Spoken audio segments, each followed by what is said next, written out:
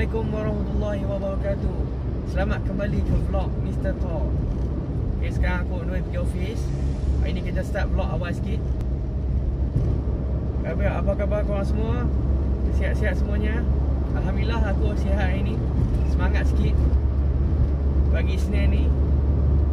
So orang cakap selalunya pagi Senin money blues kan Tapi bagi aku Kalau boleh kita ubah mindset Hari Senin adalah Permulaan minggu Jadi kita mulakan minggu tu dengan baik InsyaAllah seminggu tu akan jadi lebih baik Okay Stay tune guys Aku nak drive dulu pergi office Nanti kita sambung balik okay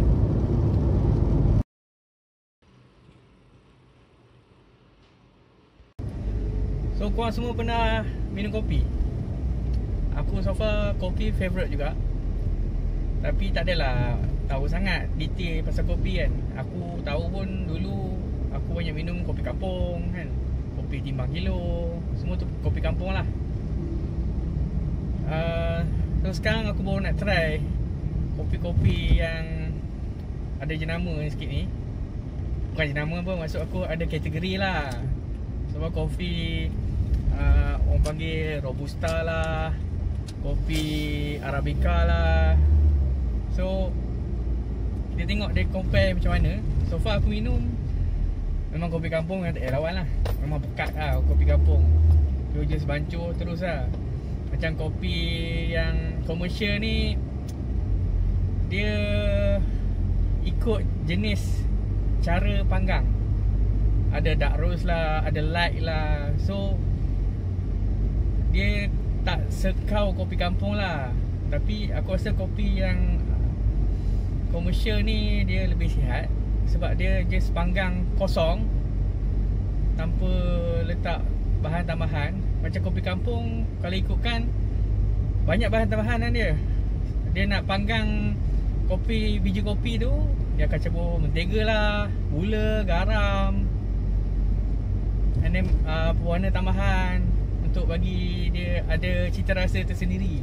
Sejak tu Sebab tu kopi Yang kita beli kopi kampung ni Setiap produk masing-masing ada rasa keunikan masing-masing kan.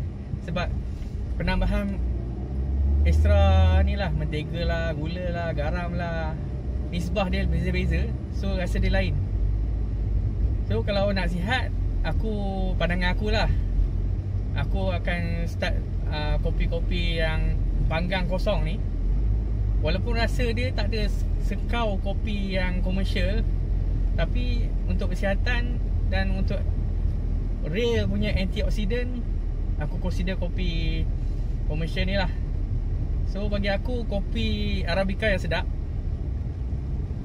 So aku masih belajar pasal kopi lagi. Alhamdulillah dah habis kerja. So sekarang ni aku nak balik rumah. Insyaallah uh, malam ni kalau tak ada apa kita akan buat ais latte. So aku, aku, tunjuk, aku akan tunjuk kat korang cara nak buat ais latte eh. Okay, stay tune. Salam semua. Seperti yang janjikan, malam ni kita akan buat ais latte. Jadi kita akan isikan ais dalam gelas. Kemudian kita akan sediakan kopi kosong menggunakan kaedah French press coffee maker. Okay, kita tekan dulu. Kita extract dulu dia punya kopi. Kita akan tapis semua sebut-sebut kopi yang ada kemudian kita akan dapatkan parti kopi yang pekat Okey. Kita tuang. Kita perlukan 2 per 3 daripada gelas yang kita sediakan. Dan kemudian kita akan sediakan susu segar. So saya gunakan Dash Lady. So kita akan bagi ada form sikit Kita akan kacau menggunakan mixer. Kita sediakan susu segar satu per tiga daripada gelas tu dan kemudian kita tuang. Menarik kan? Okey. So kita cuba dulu. Okey siap. Ais latte kita hari ni. Oh, Macam. Jadi tak ais latte aku buat hari ni. Menarik kan? Kau boleh cuba.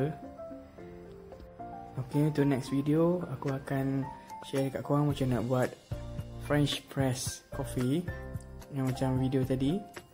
Okey, sampai bertemu lagi dalam video aku yang akan datang. Jangan lupa subscribe, like dan share video aku semua. Allahumma salli ala sayyidina Muhammad. Assalamualaikum warahmatullahi wabarakatuh.